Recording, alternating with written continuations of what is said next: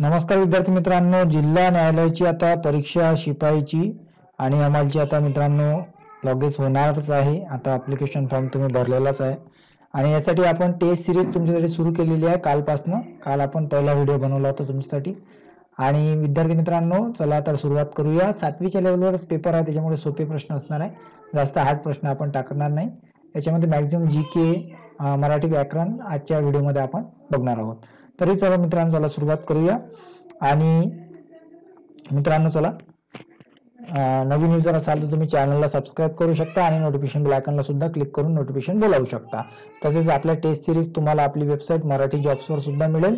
ती सुद्धा बघू शकता आणि लवकरच तुम्हाला प्ले स्टोअरवर ॲप मिळेल. त्याच्यावरती सुद्धा तुम्हाला उपलब्ध होऊन जातील.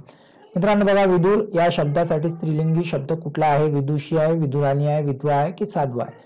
विदूर या शब्दासाठी स्त्रीलिंगी शब्द ओळखायचा आहे. लगेच आपण उत्तर तुम्हाला देणार आहोत. विदूर या शब्दासाठी स्त्रीलिंगी विधवा.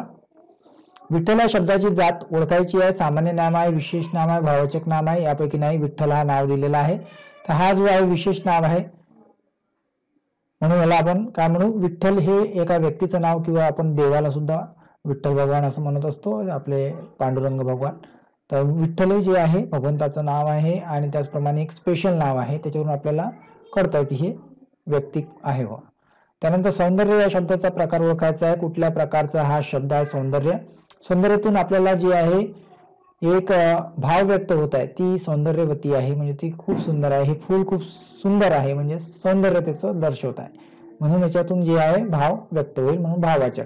गुण विशेषण जर आपल्याला काहीतरी त्याच्यातून गुण दिसत आहे तर आपण म्हणू शकतो की तो खूप हुशार आहे. हुशार आहे म्हणजे काय? त्याचा गुण आपल्याला दिसत आहे. आणि त्याच्यानंतर शब्दयोगी म्हणजे शब्द लागून जर आले असेल तर त्याला शब्दयोगी म्हणतात. सर्वनामचा इथे विषयच येत नाही. विरुद्धार्थी शब्द ओळखायचा आहे? आपला. आपल्याच्या विरुद्धार्थी काय होतं? स्वतःचा आमचा सर्वांचा की परका? विरुद्धार्थी शब्द ओळखायचा मित्रांनो? आपल्याच्या विरुद्धार्थी काय होतं? आपला म्हणजे आपल्या स्वतःचा होतो. ओके? परंतु आपल्याच्या विरुद्धार्थी काय होईल? परका. म्हणजे हा कोणाचा नाही आपला परका. म्हणजे आपल्याच्या विरुद्धार्थी परका होईल. ज्याला आपण ओळखत नाही तो आपला नाही. ओके? तो करेल परका राहील. पुढील शब्दाला पर्याय सांगा. खग. आकाशात फिरणारे पक्षी जलचर उडताना येणारे. खग बऱ्याचदा ऐकलं असेल तुम्ही? योग्य उत्तर आहे पक्षी म्हणजेच खग. तो घरी जातो या वाक्यातील प्रयोग कोणता आहे? सकर्मक कर्तरी अकर्मक कर्तरी कर्मणी आणि भावे. याच्यामध्ये आपल्याला कर्म दिसत आहे का? सर्वात पहिले शोधायचं. तो करता आहे घरी क्रियापद आहे क्रियापद जातो आहे आणि घरी जे आहे मित्रांनो तो घरी जातो. याच्यामध्ये करता जो आहे तो आहे आणि क्रियापद जो आहे जातो आहे आणि घरी जे आहे ते विशेषण आहे. कुठे जात आहे तो? विशेष माहिती देत आहे की घरी जात आहे. तर क्रियेपद क्रियाविशेषण हे घरी आहे. क्रियेबद्दल माहिती सांगत आहे की तो कुठे जात आहे. याच्यामध्ये कर्म आहे का नाही आहे? त्याच्यामुळे काय आहे? हे वाक्य जे आहे अकर्मक कर्तरी आहे. तो घरी जातो ती घरी जाते. याच्यामध्ये कर्तरी का बरं आलं हे सुद्धा लक्षात ठेवा. याचा सुद्धा ट्रिक आहे. तर बघा तो घरी जातो. इथे तोच्या जागेवर तुम्ही ती करून बघा. ती घरी जाते. तर क्रियापद जो आहे जातो हा जो आहे चेंज होऊन जातो. हा जो जातो क्रियापद आहे त्याच्या जागेवर काय होतो? ती घरी जाते होऊन जाते. म्हणजे काय आहे? कर्तरी आहे. म्हणजे कर्त्यानुसार क्रियापद बदलते. ह्या काही गोष्टी लक्षात ठेवायच्या आहेत. त्याच्यावरती आपले मार्क्स पक्के होऊन जातात. एक प्रश्न बिलकुल कर्तरी कर्मणी प्रयोगवर राहतोच पेपरमध्ये प्रयोगवरती. खाली दिलेल्या स्पष्टीकरणाचा अर्थाचा वाक्यप्रचार ओळखायचा आहे. जे काही स्पष्टीकरणाच्या अर्थाचा वाक्यप्रचार ओळखायचा. स्वाभिमान सोडून शरण जाणे. स्वाभिमान सोडून शरण जाणे याचा आपल्याला अर्थ ओळखायचा दात पडणे दाती तृण धरणे दात दाखविणे दाती बोट धरणे याच्यापैकी जे वाक्प्रचार आहे त्याचा अर्थ दिलेला आहे स्वाभिमान सोडून शरण जाणे. म्हणजेच काय? तर दाती तृण धरणे म्हणजे स्वाभिमान सोडून देणे म्हणजेच काय? दाती तृण म्हणजे गवत गवत खाणे असं सुद्धा होऊ शकतं. दा दाती तृण धरणे म्हणजे काही पण करणे स्वाभिमान सोडून जगणं. इतिश्री करणे वाक्यप्रचाराचा अर्थ वाक्यप्रचाराचा अर्थ विचारतात मित्रांनो लक्षात द्या. तर लक्ष ठेवायच्यावरती इतिश्री करणे म्हणजेच काय? मार देणे शेवट करणे लक्षण देणे त्याग करणे इतिश्री करणे. इतिश्री आपण म्हणत असतो इतिश्री केला म्हणजे काय? शेवट केला म्हणजे शेवट करणे. साधना साप्ताहिकचे संपादक कोण आहे? साने गुरुजी आहे गोपाळ गणेश आगरकर एम एस जोशी नरेंद्र दाभोळकर असे काही पर्याय दिलेले आहे मित्रांनो. साधना हे साप्ताहिक आहे.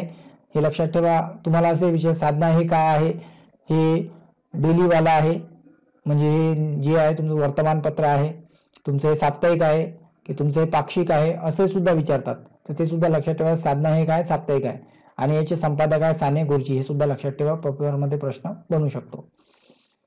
लवकर या शब्दाची जात कोणती आहे? क्रिया विशेषण उभयनवी अवयव क्रिया यापैकी नाही. लवकर म्हणजे काय म्हणत आहे तो? क्रियेबद्दल आपल्याला विशेष माहिती देत आहे. लवकर लवकर या इकडे मला काम आहे. म्हणजेच काय? तुम्ही पटकन या. म्हणजे क्रियेबद्दल विशेष माहिती देत आहे म्हणजेच काय? हे क्रिया विशेषण आहे. असे तुम्ही ओळखू शकता. पाय घसरला आणि पडलो केवळ वाक्य करा.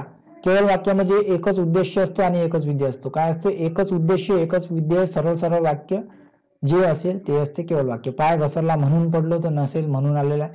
पाय घसरून पडलो हे वाक्य बरोबर आहे. पाय घसरला पाय घसरला तेव्हा पडला हे चुकीचं आहे. दुसरा ऑप्शन याच्यामध्ये बरोबर आहे. पाय घसरून पडलो. सरळ सरळ वाक्य आहे. एकच उद्देश आहे एकच विधेय आहे म्हणून केवळ वाक्य. पुढील तत्सम मधून पुढील शब्दांमधून तत्सम शब्द ओळखायचा तत्सम शब्द म्हणजे संस्कृतचा शब्द कांता बायको बाईल नवरा. संस्कृतचा शब्द आपल्याला ओळखायचा आहे. संस्कृत मधून मराठीत आलेला शब्द म्हणजे तत्सम शब्द. योग्य उत्तर जसा झाला कांता. संस्कृत मधून जसाचा तसा आलेला शब्द कुठला आहे? याच्यातला कांता.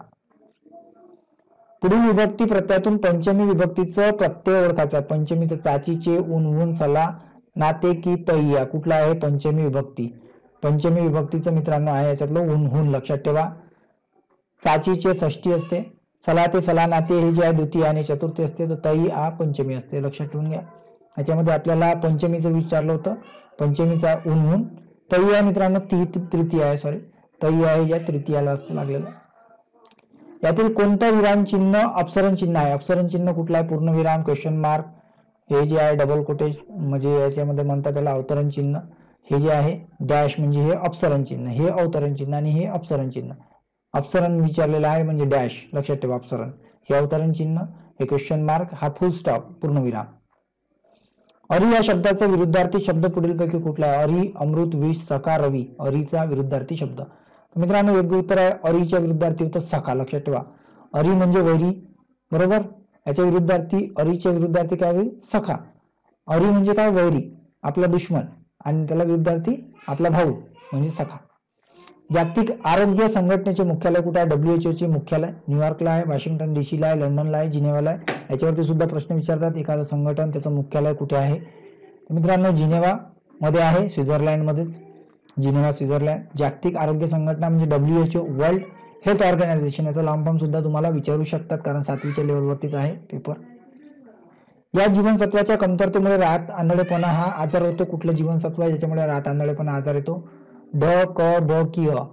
तर मित्रांनो योग्य उत्तर आहे अ अ जीवनसत्वाच्या कमतरतेमुळे हा रोग आहे. गाजरमध्ये जीवनसत्व भरपूर प्रमाणात असते. ओके?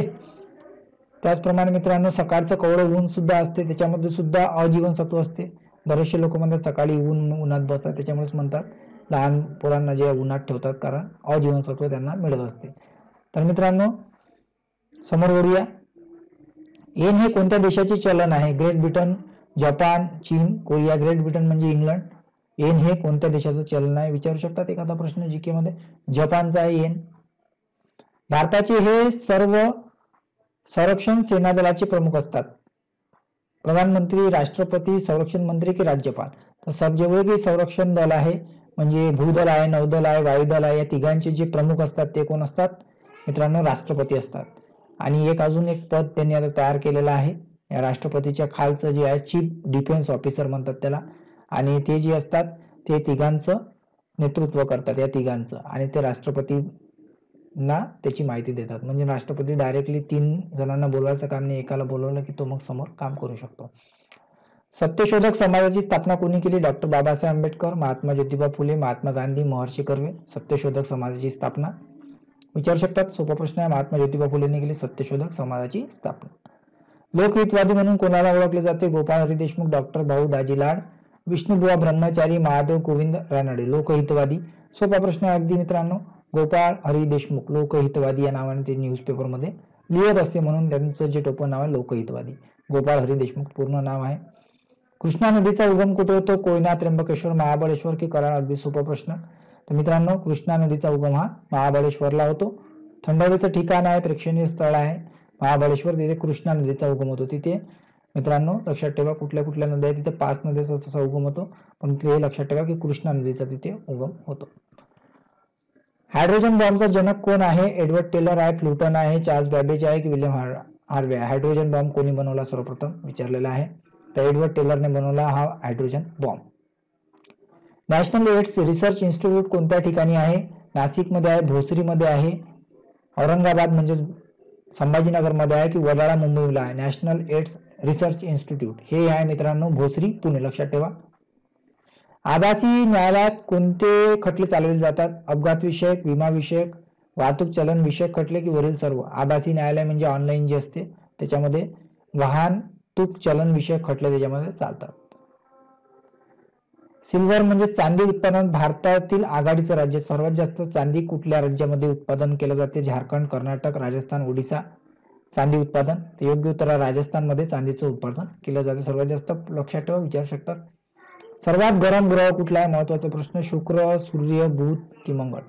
तर मित्रांनो बुध ग्रह हा सर्वात ग्रह गरम ग्रह आहे आणि तो जो आहे सूर्यापासून सर्वात जवळ आहे. महाराष्ट्रातील सर्वात मोठा बहुउद्देशीय प्रकल्प कुठला आहे? कोयना जायकवाडी उजनी की शिवसागर? सर्वात मोठा बहुउद्देशीय प्रकल्प कुठला आहे महाराष्ट्रातला? तर मित्रांनो जायकवाडी हा गोदावरी नदीवर आहे आणि हा सर्वात मोठा बहुउद्देशीय प्रकल्प आहे. जाडे जायकवाडीचं जे जलाशय आहे त्याला नाथसागर असं म्हणतात हे सुद्धा विचारतात पेपरमध्ये नाथसागर. तर जायकवाडी कुठल्या नदीवरती आहे हे सुद्धा विचारतात. तर गोदावरी नदीवरती आहे. सर्वात मोठा हा बहुउद्देशीय प्रकल्प आहे जायकवाडी. तर शिवसागर सुद्धा विचारतात. हे उजनी जे आहे धरण त्याचं जे जलाशय आहे त्याला म्हणतात शिवसागर कोयना. सॉरी उजनी कोयना. कोयना जे धरण आहे त्याला जे जलाशय आहे त्याला शिवसागर असं म्हणतात. ते इथे कोयना दिलेलंच आहे वरती. महाराष्ट्रातील पहिले राष्ट्रीय उद्यान कोणते आहे? गुगामला आहे ताडोबा आहे पेंच आहे की संजय गांधी? पहिलं राष्ट्रीय उद्यान विचारलेलं आहे पहिलं सर्वात पहिलं. सर्वात पहिलं सं ताडोबा आहे मित्रांनो वाघासाठी आहे. आणि सर्वात छोटं राष्ट्रीय उद्यान जर विचारलं तर ते संजय गांधी राष्ट्रीय उद्यान ते सुद्धा लक्षात ठेवा बोरीवलीला आहे हे.